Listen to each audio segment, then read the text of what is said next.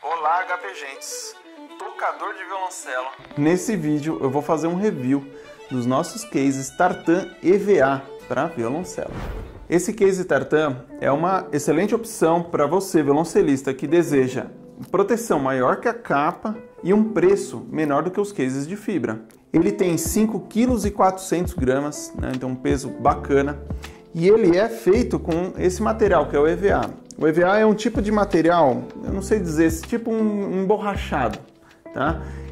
Protege bastante o violoncelo, é bonito, estiloso, né? E alguns detalhes desse estojo que são bem legais. O zíper, ele é todo fechado com zíper, que é diferente dos cases de fibra. Case bem estiloso, todo fechado com zíper. Um detalhe bacana é isso aqui, ó, travamento com senha, tá? Fácil de mexer e também uma proteção a mais. As alças laterais, né? Alça aqui na frente, ó. E as alças de, das costas, olha que legal.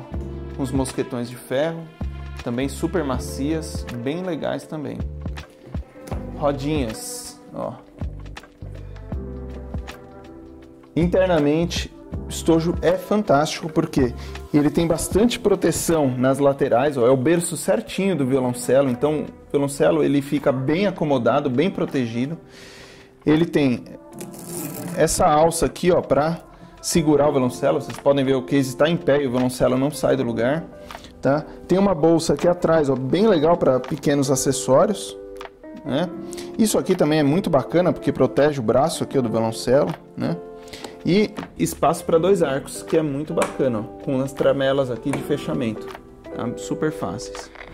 Então, esse é o case ideal para você, tocador de violoncelo. Que não abre mão de um case que vai te proteger. Você vai poder andar de metrô, colocar no porta-malas do carro, andar a pé e vai proteger muito bem o seu violoncelo. E se você já usa um case desse, deixa aqui nos comentários a sua experiência para outras pessoas poderem também saber.